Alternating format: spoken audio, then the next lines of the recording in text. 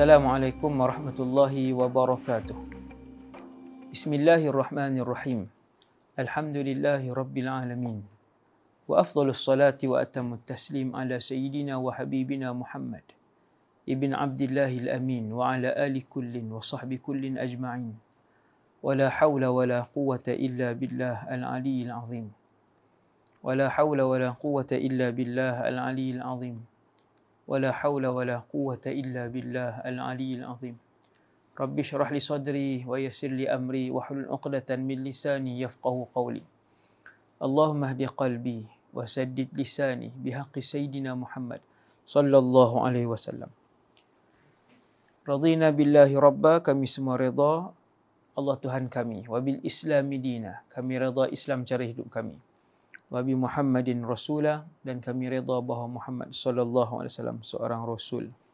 Kita menggunakan buku 65 kehidupan sahabat radhiyallahu anhum yang ditarbiah oleh Rasulullah sallallahu alaihi wasallam dan kita sampai pada sahabat yang ke-17 daripada keseluruhan sahabat 100 ribu lebih.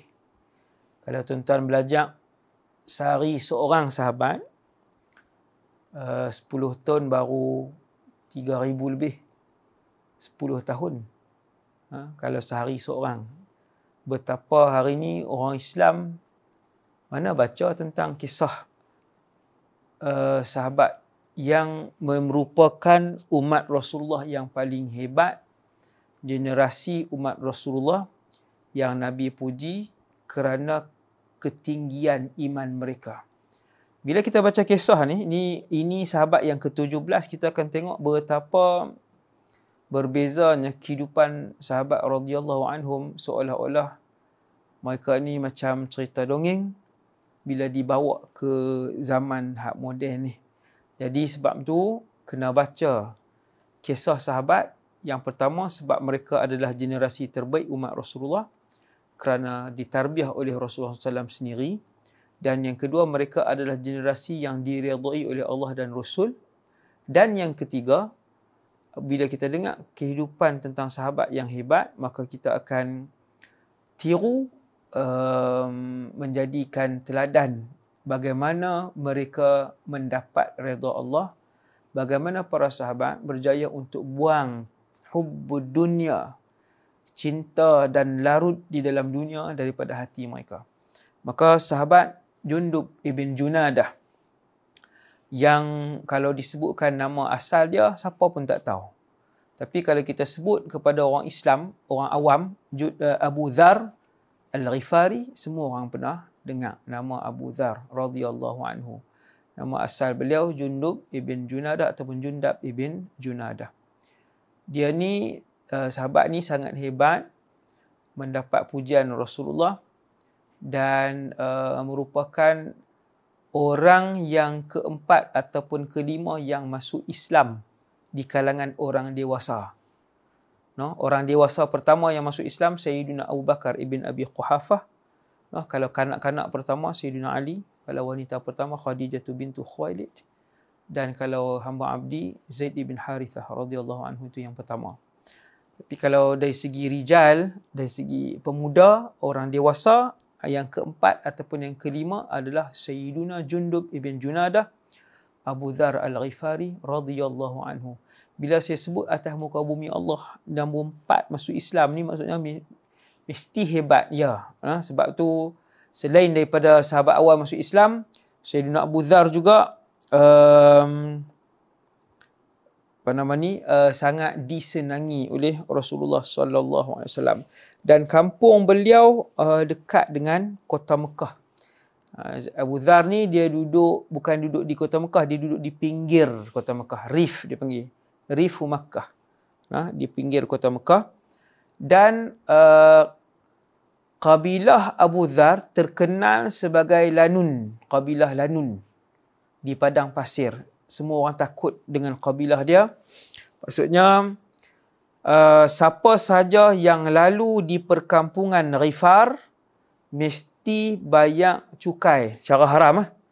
Uh, kabilah ni akan ambil cukai cara haram peras ugut daripada semua kabilah yang nak lalu ke situ.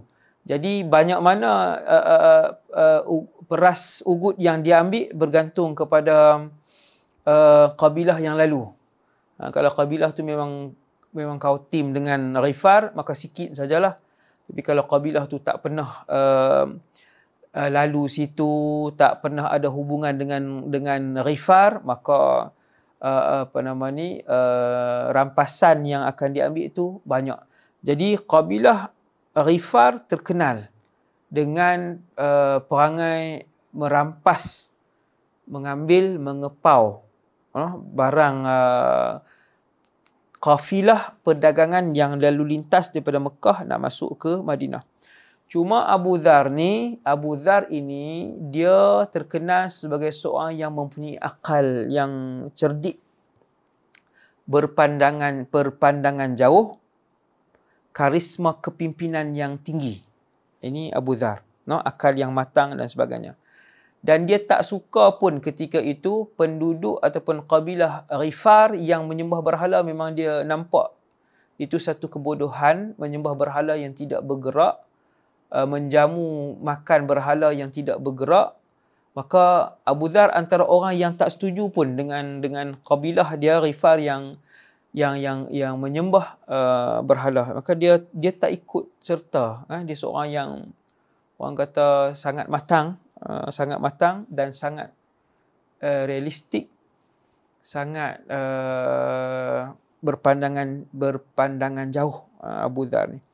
Bila dia duduk di dekat dengan Mekah bukan dalam kota Mekah dia mendengar berita bahawa ada seorang pemuda membawa ajaran yang bernama Islam uh, ajaran untuk menyembah Tuhan yang Esa iaitu Allah dan mengaku bahawa lelaki itu adalah pesuruh Allah.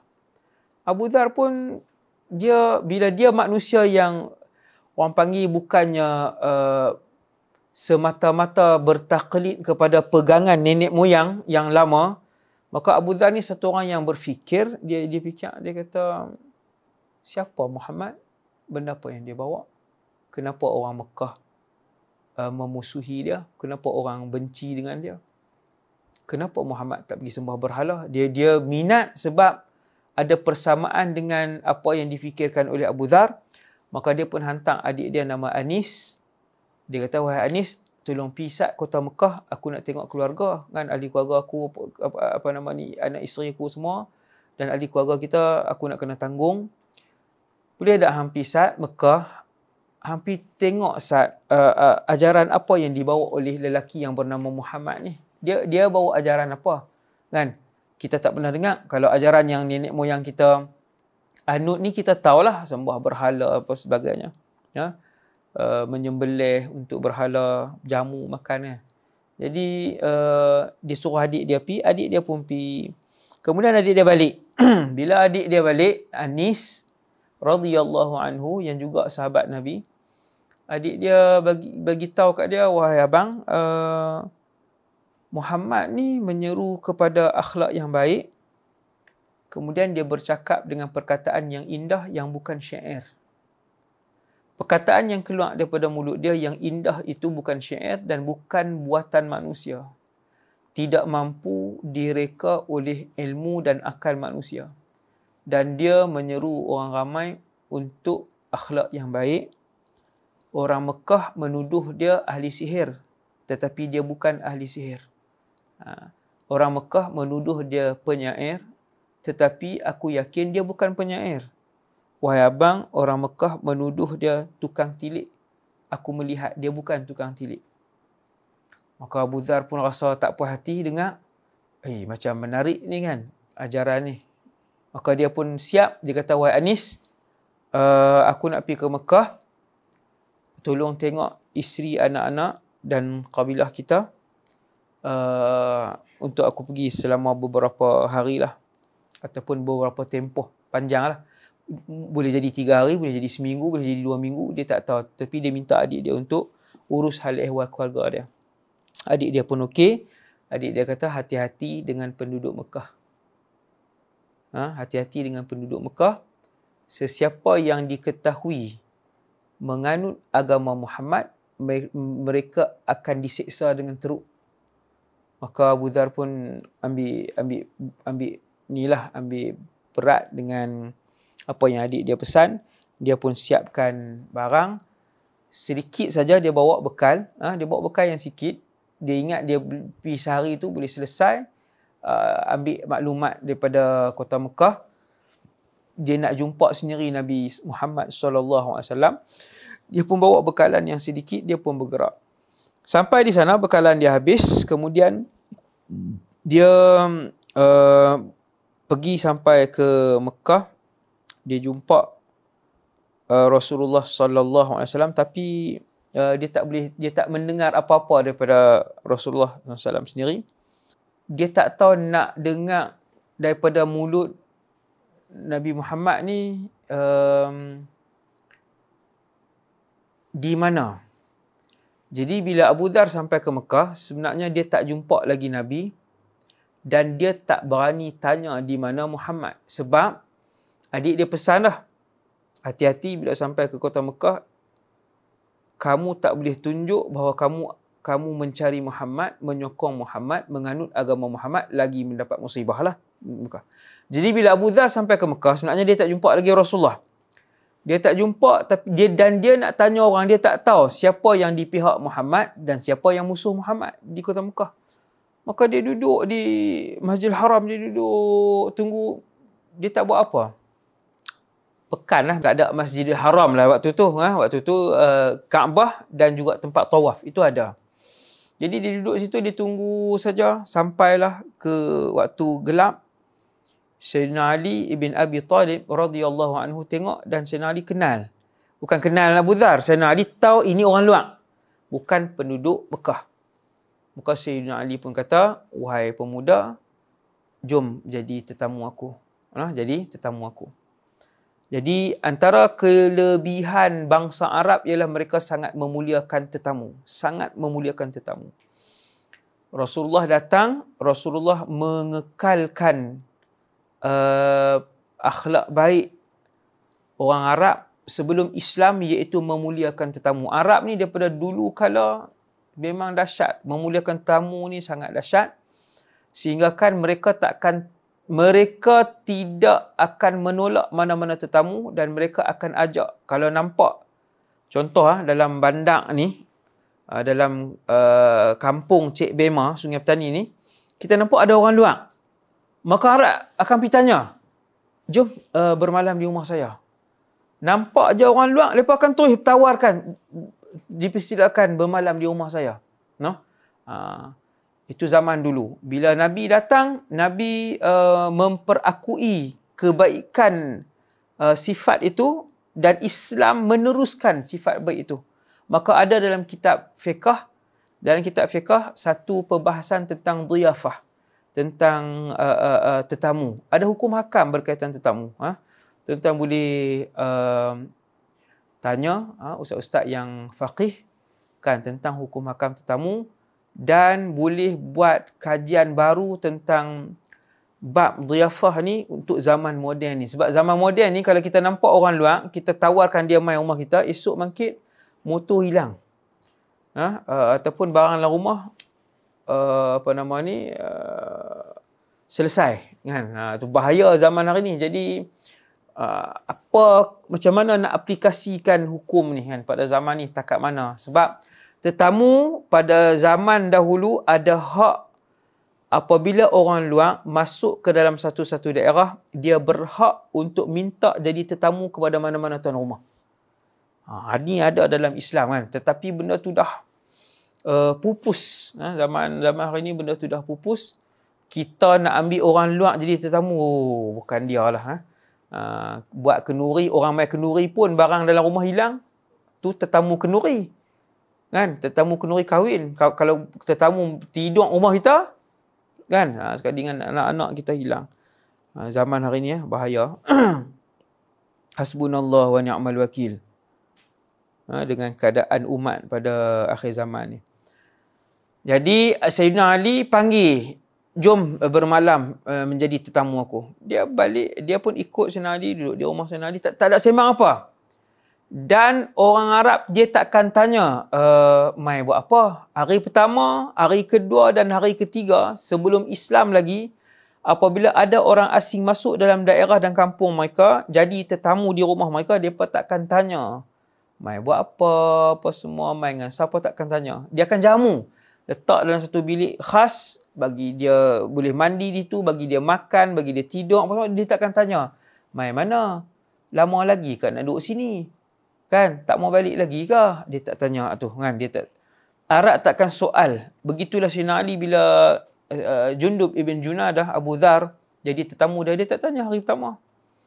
Hari kedua, sampai hari ketiga. Sampailah hari ketiga, baru Sina Ali tanya. Itu adab lah. Habis hari ketiga, baru dia tanya. Wahai pemuda, uh, kamu ni nama apa? Baru tanya. Nama Jundub Ibn Junadah apa tujuan kamu datang sini? Abu Dhar pun tengok kanan, tengok kiri. Dia kata, boleh tak kamu rahsiakan? Kalau aku bagi tahu kepada kamu, uh, tujuan aku datang, kamu rahsiakan. Sayyidina Ali kata, ya. Waktu tu Abu Dhar pun tak tahu itu Ali. Ya, Ali orang hebat lah kan. Uh, maka Ali kata, ya aku, aku rahsiakan. Abu Dhar kata, aku datang sini untuk mencari seorang lelaki bernama Muhammad. Aku mendengar dia adalah uh, Rasul uh, dia adalah pesuruh Allah dan aku nak tahu apa isi kandungan ajaran dia. Maka Sayyidina Ali pun seronok. Ha? Sayyidina Ali pun seronok berseri-seri muka dia. Dia kata, esok ikut aku. Kalau aku baling batu ke kanan, kamu belok ke kanan. Kalau aku baling batu ke kiri, kamu belok ke kiri. Dan kalau ada hal yang tidak diingini berlaku, keadaan yang tak bagus, aku akan berhenti macam tuang air no ha tuan air esok malam tu Abu Dhar pun tak boleh lena dia jadi tak boleh nak lelap mata sebab uh, seronok nak bertemu dengan Rasulullah sallallahu alaihi wasallam jadi um, malam tu Abu Dhar jadi tak boleh tidur radhiyallahu anhu sebab seronok nak berjumpa dengan Nabi tak sabar-sabar nak jumpa dengan Rasulullah sallallahu alaihi wasallam orang yang bijak ni dia dia tak ikut orang Orang hebat dan bijak selalu menggunakan akal dalam hidup, menggunakan akal. Dia takkan mudah ikut orang sembrono. Dia ada prinsip dia. Dia selalu menggunakan akal. Orang yang selalu menggunakan akal, dia selalunya dia ada prinsip. Ha? Dia ada prinsip hidup. Maka Abu Dhar, uh, dia suka dengan dengan ajaran baru ni, apa yang dia dengar daripada jauh. Kan? Maka dia tak sabar nak jumpa dengan Nabi. Esokkannya, Sayyidina Ali pun bawa dia bertemu dengan Rasulullah dalam perjalanan tu macam itulah dia baling batu ke kanan masuk ke kanan apa semua itu cara itu cara cara para sahabat diajar oleh Rasulullah untuk mereka berhimpun di markas rahsia penyebaran Islam di Mekah yang kita semua dengar sebagai rumah Al-Arqam ibn Abil Arqam.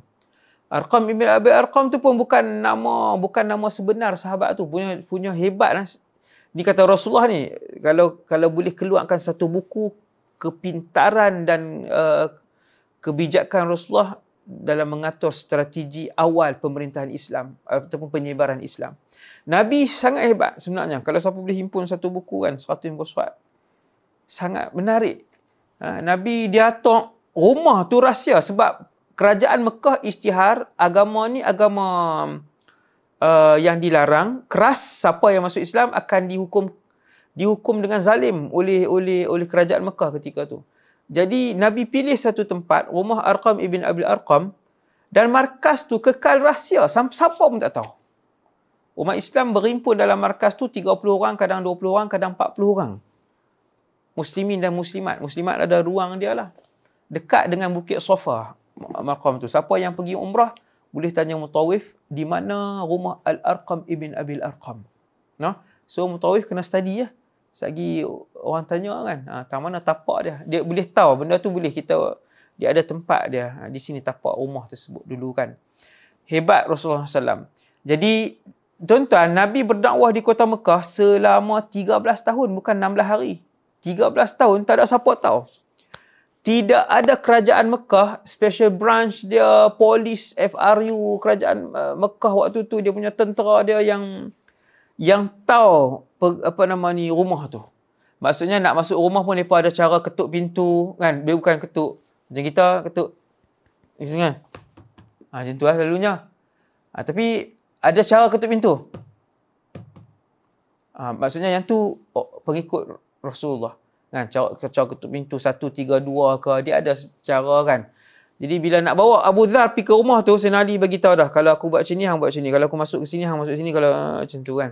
Akhirnya sampai ke rumah, Sayyidina Ali kata, kalau aku masuk ke satu rumah, hang terus masuk. Jangan duduk, rumah ni kah? Duduk pergi nak singgah beli buah pula. Kalau masuk, aku masuk ke rumah tu, kata Sayyidina Ali, hang terus masuk. Itulah markas rahsia Nabi SAW bersama umat Islam 13 tahun. No? Ha, Rasulullah sebenarnya ada kemahiran memimpin yang hebat yang belum ada buku lagi yang menghimpunkan keunikan strategi pentadbiran Rasulullah sallallahu alaihi wasallam. Noh, masya-Allah. Jadi siapa yang rajin boleh karang bab tu. Sayyidina Abu Dhar pun masuk, dia pun tengok Nabi dah tunggu. Ha, Nabi dah tunggu, Sayyidina Ali dah bagi tahu dah, ya Rasulullah ada satu orang nama Jundub ibn Junadah daripada Bani Ghifar nak mai jumpa kamu, dia nak dengar ajaran ini ya Rasulullah. Nabi ready kan. Nabi ni siapa amai pun nak bunuh dia ke, yang bengis ke, yang tak bengis ke, Nabi tunggu saja siapa pun orang tu. Dia pun masuk, dia kata Assalamualaikum ya Rasulullah. Maka Abu Dhar adalah manusia pertama yang bukan Islam yang memberi salam kepada Rasulullah sallallahu alaihi wasallam.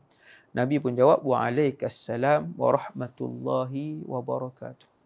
Hebatlah orang Abu Dhar ni orang cerdik dia bukan orang orang bijak. Dia pun duduk depan Nabi, dia kata ya Rasulullah ajaran apa yang Rasulullah bawa kan nabi pun baca a'udzubillahi minasyaitonirrajim nabi baca al-Quran habis nabi baca al-Quran Abu Dhar kata asyhadu an la ilaha illallah wa asyhadu annaka rasulullah aku bersaksi bahawa tiada tuhan melainkan Allah dan aku bersaksi bahawa kamu adalah pesuruh Allah noh belum sempat berubah tempat dan berganjak Abu Dhar dah masuk masuk Islam maksudnya bersih ha, hati dia bersih Kemudian Abu Dhar pun duduk di kota Mekah belajar direct daripada Rasulullah sallallahu alaihi wasallam. Belajar dengan Nabi sendiri. No? Ha, waktu Abu Dhar masuk Islam, waktu tu mungkin baru 3 40 orang orang Islam ha? mungkin 30 orang tak sampai. Uh, mungkin dalam 20 orang baru ataupun belasan orang. Ha? mungkin belasan orang. Wallahu alam tapi tak lebih 40 orang lah waktu tu. Ha, sebab dia orang yang keempat kan. Ada kanak-kanak, ada wanita yang masuk Islam begitulah. Jadi tak ramai. Dah beberapa minggu duduk dengan Nabi, belajar sendiri daripada Rasulullah. Nabi pun pesan, wahai Abu Dhar, kalau kamu nak balik ke Rifar, kamu balik. Jangan jangan bagi tahu kepada mana-mana orang Quraisy bahaya. Mana? Abu Dhar kata, ya, ya Rasulullah, demi Allah, aku akan umum kepada Quraisy. Dia nak buat pengumuman. Kemudian esokkan paginya sebelum bertolak balik, dia dia umum, dia kata, wahai Quraisy, aku nak umumkan bahawa aku bersaksi la ilaha illallah Muhammadur Rasulullah. Tak dan habis lagi bahawa Muhammadur Rasulullah dia tak dan habis cakap lagi. Uh, pemuda-pemuda Quraisy yang duduk di situ yang majoriti tak Islam penduduk Mekah ha, memang majoriti tak Islam semua bangun dengan laju semua bangun dengan laju serentak dia ni pengikut Muhammad kan? Jom pukul dia. Semua bangun dan memukul dia beramai-ramai sampailah uh, Abu Dhar pingsan uh, dan kemudian diselamatkan oleh Abbas ibn Abdul Muttalib pak saudara Nabi wasallam Abbas kata celaka kamu semua. Kamu nak kamu nak bunuh satu orang daripada Bani Rifar. Dia ni daripada Bani Rifar. Maksudnya pak menakan Nabi kenai eh? Pak menakan Nabi kenai uh, Jundub ibn Junadah ni daripada Bani Rifar. Pak Penakan Nabi yang bernama Abbas kata, kalau kamu bunuh dia, tak ada barang dagangan kamu yang boleh keluar daripada bumi Mekah. Sebab nak kena lalu di uh, di apa nama ni lembah Wadan. Lembah Wadan yang didiami oleh kabilah Rifar yang bengis. Uh, uh, jadi sebelum mereka tu sempat bunuh dia, uh, apa nama ni Abbas, Sayyidina Abbas sempat selamatkan Ha, kalau tidak, memang masalah besar lah. Ha, membunuh daripada Bani, Bani Rifar. Maka dia pun pergi jumpa Rasulullah. Dia pun bagi tahu ke Rasulullah Abu Dhar bagi tahu ya Rasulullah dia pukul aku. Nabi kata aku dah bagi tahu dah kan? Semoga Allah ampunkan kamu wahai Abu Dhar kan? Uh, jangan jangan jangan pi umum dah bahawa kamu telah masuk Islam. Abu Dhar kata ya Rasulullah ini hajat. Hati hati dan diri aku yang terpendam untuk aku umumkan Ya Rasulullah aku nak balik kan aku nak balik ke Rifar aku nak seru mereka kepada Islam Nabi pun kata serulah mereka kepada Islam dengan lemah lembut wahai Abu Dhar. Dia pun bertolak balik. Dia jumpa dengan adik dia dah beberapa minggu duduk di kota Mekah. Adik dia Anis tanya macam mana abang? Uh, ajaran Muhammad ajaran itu ajaran yang mulia. Dia sesungguhnya adalah pesuruh Allah dan aku telah memeluk Islam. Dia peluk peluk Islam. Maka Anis kata, aku pun sebenarnya dah peluk Islam. Ha, adik dia, aku pun dah peluk Islam. Jom kita ajak ibu kita masuk Islam. Dia pun pergi kat mak, bagi tahu mak, di Mekah ada seorang pemuda nama Muhammad, ajaran dia sekian-sekian-sekian, kami dua-dua dah masuk Islam. Ibu Abu Dhar dan ibu Anis masuk Islam waktu itu juga. Maka semua keluarga Abu Dhar masuk Islam. Dan mereka pun berdakwah kepada Bani Bani Rifar. Nah, bila Nabi uh, hijrah ke Madinah Munawwarah, uh, Bani Rifar masuk Islam ke semuanya. Masya Allah. Ha, hebat. Uh, besar pahala Abu Dhar, dia mengislamkan kabilah dia ke semuanya. Mengislamkan kabilah. Kita pun macam itulah. No? Ada adik-beradik, ada grup WhatsApp keluarga kan, selalu masuk masukkan ceramah-ceramah niat untuk berdakwah supaya kita tidak disoal di akhirat kelak kenapa Allah bagi hidayah kepada kamu? Kamu tak kamu tak dakwah ahli keluarga kamu yang yang lain kan? Jadi Abu Dhar dan adik dia berdakwah kepada Bani Rifar sampai semua masuk Islam.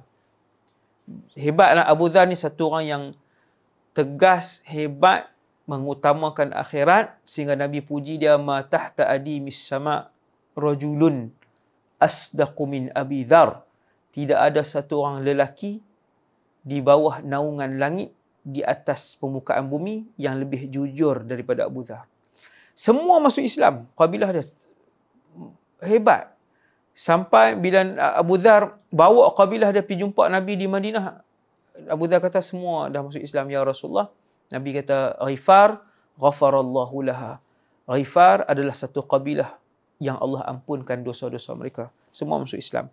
Kemudian Abu Dhar pun dia balik balik ke kampung dia, Nabi perang Badar, Nabi perang Uhud, Nabi perang Khandaq, Abu Dhar duduk menjaga Islam di kampung dia. Dia tak bersama Rasulullah dengan perang-perang besar ni. Nah, tapi dia sahabat besar. Nama dia sangat masyhur. Dia duduk di kampung, dia jaga Islam di sana, Islam sahabat uh, kabilah dia. Kemudian lepas perang Khandaq tahun 5 Hijrah, barulah Abu Dhar berhijrah men, ke Madinah menjadi bayang-bayang antara bayang-bayang Rasulullah sallallahu alaihi wasallam. Apa maksud menjadi bayang-bayang Rasulullah? Rapat dengan Nabi. Siapa rapat dengan Nabi? Semua hebat. Rapat dengan tok guru? Hebat. Berkhidmat dengan tuan-tuan guru yang rabbani, yang alim, yang rabbani akan mengalir ilmu dan juga kesolehan itu. Ha? Maksudnya mendapat keberkatan. Ha? Jadi Abu Dhar dia pergi kat Nabi minta ya Rasulullah nak berkhidmat kepada kamu. Nabi pun bagi dia khidmat dengan Nabi wasallam. Walaupun tak lama dengan Rasulullah tapi dia banyak meriwayatkan daripada Rasulullah wasallam. Dan sahabat sahabat yang lain depa tahu kalau Abu Dhar mai Nabi akan senyum yang lain iaitu uh, sahabat tahu Nabi sangat senang hati dengan Abu Dhar. No? Mana-mana orang pun ada ada orang yang dia sangat suka. Kalau dia main, dia, orang tu akan sangat suka. Tok-tok guru kan. Tok-tok guru mana pun, dia ada orang-orang yang dia sangat senang hati. Dia sangat senang hati. Masuk, sangat masuk dengan dia kan. Kalau orang tu main, sehari muka dia berseri-seri. Begitulah Rasulullah dengan para sahabat. sahabat sehingga sahabat tahu. Kalau Abu Dhar main, muka Nabi sampai berseri. Muka Nabi ni, kalau Nabi seronok, dia akan bercahaya. Cahaya macam cahaya lampu. Ha, cahaya yang mengeluarkan cahaya. Ha, Masya Allah. No? Ha, bila Abu Dhar main, Nabi akan Nabi akan senyum dan Nabi cukup seronok dengan Abu Dhar. Sebab Nabi tahu um, kejujuran dan ketelusan Abu Dhar Al-Ghifari dalam berdakwah kepada Allah Ta'ala. Kemudian Nabi pun wafat. Abu Dhar tak boleh duduk di Madinah. Dia terlampau sedih. Sama macam Sayyidina Bilal, Sayyidina Bilal tak boleh duduk Madinah. Dia tak boleh tengok tempat Nabi bersandar, dia tak boleh tengok rumah Nabi, dia jadi sedih. Maka Abu Dhar pun ber, berhijrah ke Syria. Abu Dhar berhijrah ke Syria. Bila duduk, dia duduk di Syria, dia tengok orang mengejar kemewahan. Abu Dhar kata, aku tak boleh tengok penduduk Dimashq yang mengejar kemewahan. Padahal waktu tu baru 30 hijrah, baru Zaman tu masih awal lagi ramai orang soleh, ramai orang soleh tapi tabi'in yang dilihat oleh Abu Dhar waktu tu yang hidup banyak-banyaknya tabi'in Abu Dhar kata mereka ini mengejar dunia. Sebab Abu Dhar hidup pada zaman Rasulullah dikeliling Rasulullah ada Sa'ad ibn Abi Waqqas, ada Sa'id ibn Zaid, ada Talhah, ada apa nama ni Abu Bakar, Umar, Uthman, Ali, ada Abdul Rahman ibn Auf. Abu Dhar hidup pada satu zaman dengan sahabat-sahabat yang memang hebatlah kelas pertama. Bila Nabi wafat, uh, Abu Dhar pergi ke satu tempat yang ramai, yang tak ada sahabat, yang sahabat sikit sangat. Jadi Abu Dhar kata, aku tak boleh hidup dengan manusia yang mengejar dunia. Uh, jadi dia, Abu Dhar keras lawan dengan orang yang kejar dunia. Uh. Kalau zaman tu lah, Abu Dhar tak boleh hidup. Kalau Abu Dhar mai pada zaman ni tuan-tuan kalau Sayyidina Abu Dhar mai zaman 2021 ni tuan-tuan saya rasa hari hari pertama petang mati. No ha, hari pertama mai petang tu mati. Ha. 1400 tahun yang dulu Abu Dhar dah tak boleh tengok. Dia kata aku tak boleh tengok dengan manusia yang mengejar dunia. Nabi baru baru berapa puluh tahun wafat waktu tu lepas lepas tu. Baru 30 tahun Nabi wafat lah. Abu Dhar dah sebut kata keadaan manusia ketika sebenarnya ketika tu bukanlah teruk sangat kan tapi uh, beliau yang begitu tegas dengan orang-orang yang terpengaruh dengan hasutan dunia ni Abu Dhar tak boleh. Jadi sampai Sina Osman zaman Sina Osman jadi khalifah Sina Osman khalifah waktu tu panggil Abu Dhar kembali ke Madinah. Di Madinah pun Abu Dhar tak boleh hidup juga waktu tu. Zaman Sina Osman dia banyak tegak juga orang kan orang bila orang tutup kedai lambat sikit dia tegur dia kata tak boleh. Jangan utamakan. Jadi Abu Dhal dia tegur habis semua orang. Jadi orang mengadu dengan Sayyidina Osman wah Sayyidina Osman kami susah macam ni. Kan? Sahabat lain okey je. Pasal Abu Dhar ni tegas sangat. Semua orang komplain pasal Abu Dhar. Semua komplain pasal Abu Dhar. Hebat eh, sahabat Nabi yang yang kanan. Semua orang komplain. Sampai Sayyidina Osman kata wahai Abu Dhar kamu tak sesuai duduk di sini kamu kena pindah ke satu tempat yang nama Ar-Rabadah. Rabadah ni satu kampung kecil di Madinah.